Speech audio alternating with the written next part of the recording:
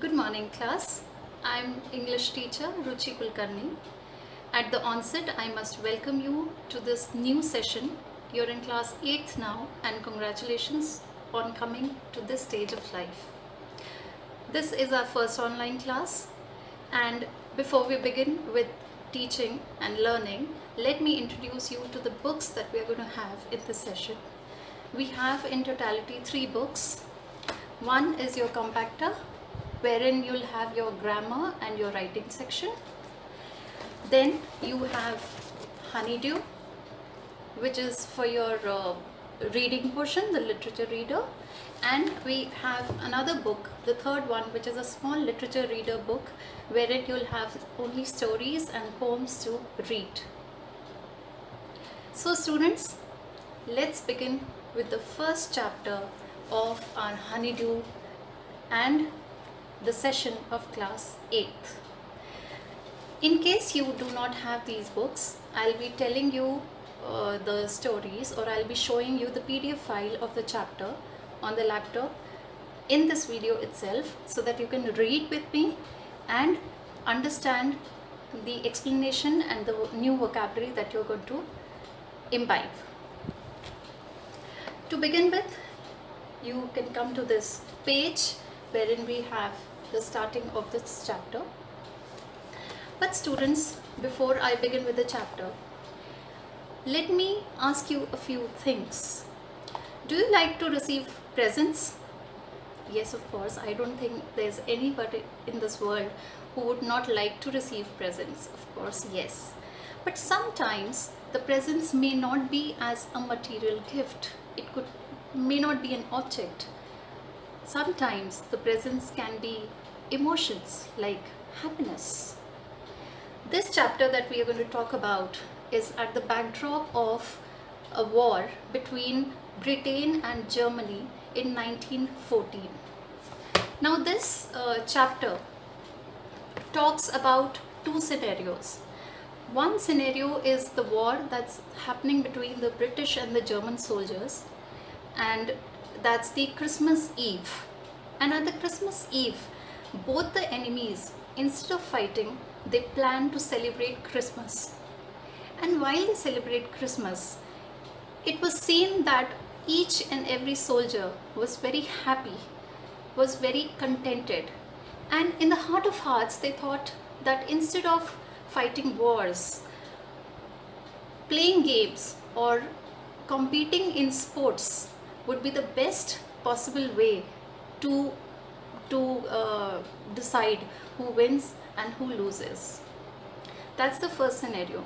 And because they had this happiness on the Christmas Eve rather than fighting a war, that happiness was their Christmas present in that part of the story. The second scenario goes to a lady called Connie Macpherson, whose husband Jim Macpherson was a soldier in the same army which was fighting the war. And Jim, in one of his letters, had described about this particular thing that I just told you uh, a sport between the two armies and uh, the way they celebrated their Christmas Eve. And in the same letter, he promised Connie that he'll be back on the next Christmas Eve. But as luck would have it, he could not come back. He died in the war. Connie loved her husband a lot and it was a test of her love. For years, she kept that last letter of Jim very close to her heart. She secured it closely. But one fine day, her house uh, uh, was burnt in a fire and she was shifted to a nursing home. Now this particular desk where she had kept her husband's last letter, that is Jim's last letter, was uh, luckily found by the narrator. The narrator read the letter and he decided to return that letter to Connie. So he, uh, he started searching for her and it was known that Connie was in a particular uh, nursing home. He went to that nursing home and he met Connie where he kept that letter in front of her. Connie was very very old and she was not in a stable state of mind and at that particular moment when Connie saw that letter, she mistook the narrator as her own husband, Jim. And there was happiness on her face. There was a glow on her face. And this glow, this happiness which Connie experienced was like the best Christmas present in the world for her. So that was the story, children. And now we begin with the reading of the chapter for which I would like you to sit with your books and pencils in your hand and whenever I we, we come across a difficult word or new vocabulary I will explain you you will underline and write the meaning there so children let's start students this is the PDF of the chapter and let's begin reading chapter first the best Christmas present in the world written by Michael Morpurgo we come to the first part of the chapter I spotted it in a junk shop in Bridport. Underline the word spotted it. I will tell you the meanings later while explaining the paragraph. I spotted it in a junk shop in Bridport, a roll top desk. The man said it was early 19th century and oak. Underline the word oak. I had wanted one but they were far too expensive. This one was in a bad condition. The roll top in several pieces, one leg clumsily mended. Underline the word clumsily, mended, and scorch marks. Scorch marks all down one side. It was going for very little money. I thought I could restore it. Underline the word restore it would be a risk, a challenge, but I had to have it. I paid the man and brought it back to my workroom at the back of the garage. I began work on it on Christmas Eve. The story starts with the beginning scene that narrator, who had always wished to buy a roll top desk, had, has gone to an antique shop to buy one for himself.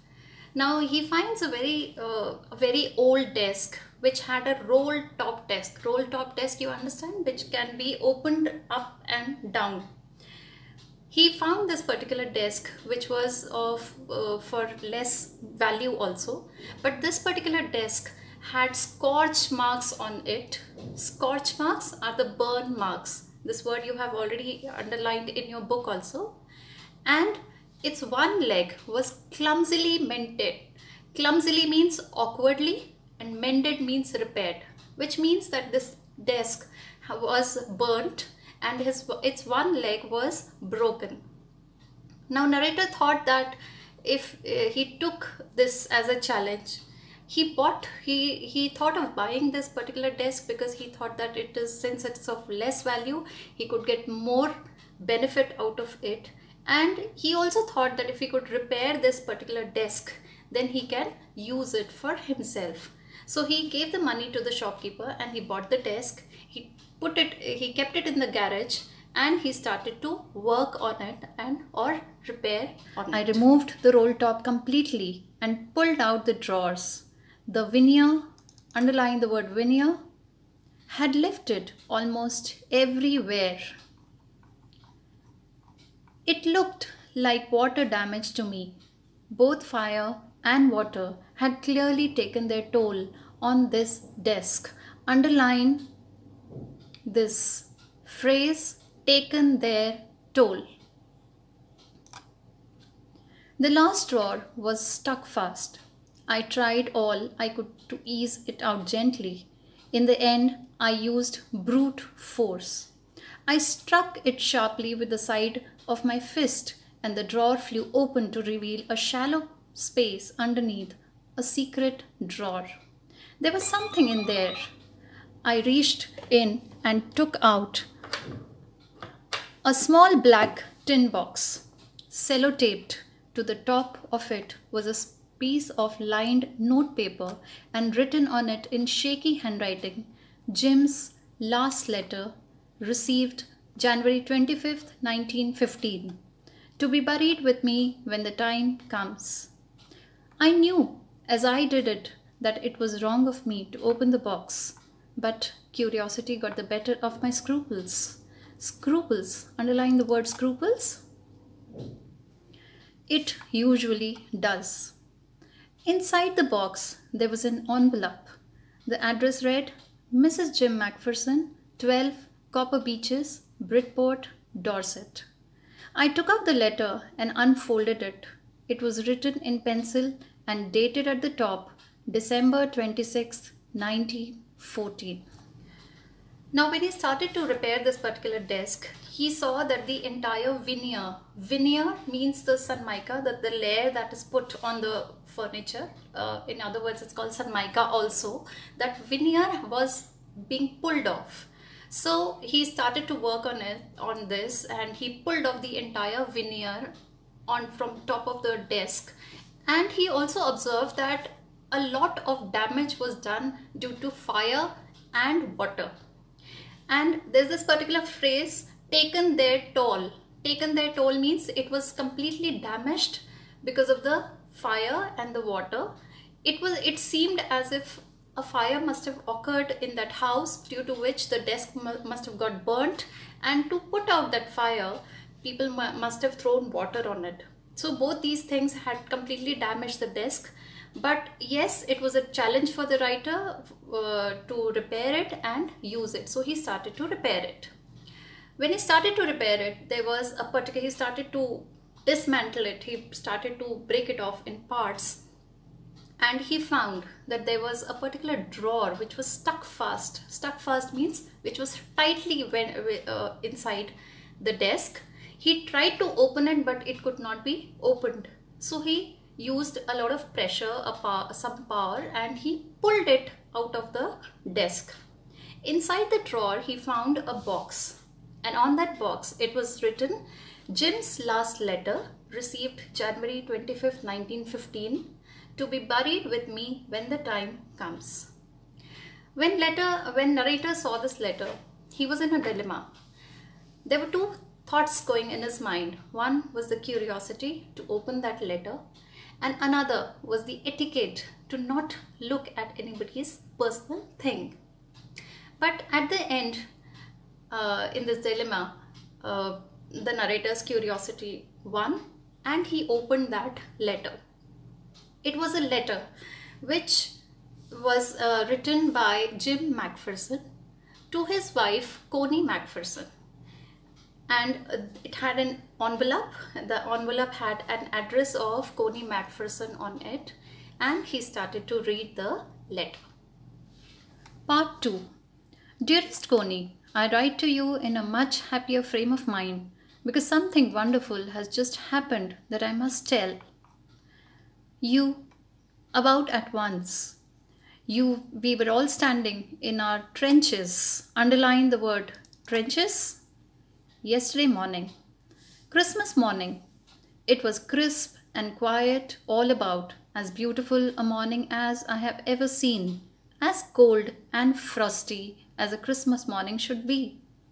I should like to be able to tell you that we began it, but the truth, I am ashamed to say, is that Fritz began it. Underline the word Fritz. First, somehow, Someone saw a white flag waving from the trenches opposite. Then they were calling on to us from across no man's land. Underline no man's land. Happy Christmas, Tommy! Happy Christmas! When we had got over the surprise, some of us shouted back, Same to you, Fritz! Same to you! I thought that it would be that. We all did. But then suddenly one of them was up there in his grey great coat, waving a white flag. Don't shoot, lads, someone shouted. And no one did. Then there was another Fritz up on the parapet, and another. Keep your heads down, I told the men. It's a trick. But it wasn't. One of the Germans were waving a bottle above his head. It is Christmas Day, Tommy, we have schnapps. Underline the word schnapps. We have sausage. We meet you? Yes. By the time there were dozens of them walking towards us across no man's land and not a rifle between them. Little Private Morris, underline the word Little Private Morris, was the first up. Come on, boys, what are we waiting for? And then there was no stopping them. I was the officer. I should have stopped them there and then, I suppose. But the truth is that it never occurred to me I should. All along their line and ours, I could see men walking slowly towards one another. Grey coats, khaki coats, meeting in the middle, and I was one of them. I was part of this. In the middle of the war, we were making peace. Okay, students, the second part of the chapter now starts with the actual letter. Jim writes to Connie, Dearest Connie, something wonderful has really happened today. Now Jim is at the war front and he is uh, one of the soldiers of British army who are there to fight against German army. Now in this particular paragraph there are two special words written here, Fritz and Tommy. They are nobody, nobody's names. Fritz is called uh, is a nickname given to a German soldier, whereas Tommy is a nickname given to British soldier. Now, since they did not know each other's names, they, they uh, addressed each other with these nicknames. Now, when on that particular morning, uh, next day was Christmas, and on that particular morning, that beautiful morning, when Jim had written this letter, he explains in his letter that both the soldiers were set in their trenches. Trenches is a place uh, on the ground where they dig it out and they make space for, so that they can stand and aim at the enemy.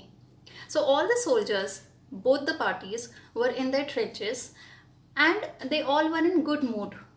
Suddenly, the British army, Jim's uh, army saw that one of the soldiers of the um, uh, German army is has stood up and he is waving a white flag. Now, uh, students, do you understand what is the meaning of waving a white flag? It means that they want to have peace. It means that there will be no war. For some time, they want to have peace talks. So one of the German soldiers, when they uh, waved the white flag, the British uh, army, the British soldiers thought that it's kind of a trick. So they all, they thought that they will uh, take a aim and shoot them as soon as they approach them. But nothing like this happened. One by one, one by one, all the German soldiers came out of their trenches and they started walking towards the British army. At first, the soldiers of the British army thought that they are playing a trick and they're going to attack us but they did not. They were uh, all throughout the time, they were only waving white flag. Now, after this incident, uh, the British soldiers also kept their guns down and they also rose from their trenches and they went to an area to meet them. You could uh, find, as we were reading in the book, uh, in this paragraph also, that there was one particular line, no man's land.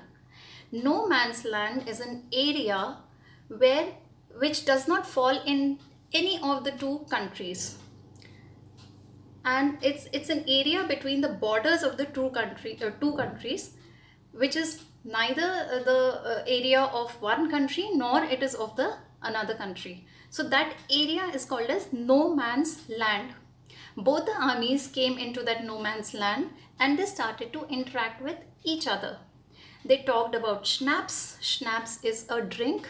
They talked about sausages. Sausages is a um, is a snack which is made up of uh, chicken. And they also started talk them. Then there was they both were so friendly with each other that there was no stopping. They talked with each other, they danced, they sang songs with each other. And in the midst of this friendship, Jim Macpherson had befriended a German soldier called Hans Wolf and they both started to talk with each other. Hans Wolf and Jim Macpherson were uh, discussing uh, so much about the food, the drink, the particular books that they both read, their common interests, and they did not know when the time passed. They both also shared the marzipan which Connie had sent to Jim. Marzipan is a kind of cake uh, which is decorated with fruits and nuts and uh, this is this particular dish is specially made when it is Christmas. And at the end of this paragraph there's this line in the middle of the war we were making peace. What does this line indicate? That there was a time when they were set to fight with each other the time when two countries were on the war front and they, there was the war was about to happen and in the midst of that particular time that crucial time both the armies instead of fighting were making peace isn't that great children just imagine how the, the world would be if all the countries instead of fighting with each other decide to make peace with each other? Well, this is the end of my first part of the chapter. And before I end, let's quickly recap what we have read today. Uh, the story starts with narrator who goes to an antique shop to buy a roll top desk. The desk which he chose particularly has got scorch marks that is burn marks and it was completely damaged by fire and water as if fire and water had taken a toll on it. Still, the narrator chooses to buy that desk. He gets it into the garage and he tries to repair it. When he is repairing it, he sees a particular drawer, a secret drawer in that desk.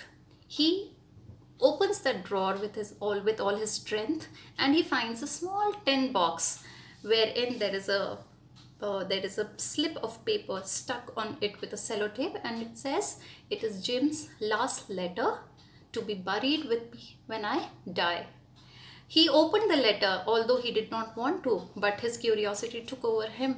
He opened the letter and he saw that it was a letter from a person called Jim Macpherson who had written this letter to his wife Connie and the letter uh, explains how Jim Macpherson, who was uh, fighting uh, against the German army, he was in, he was a British soldier, and at the war front on the Christmas Eve, how things had taken turn instead of instead of fighting a war, what had actually happened.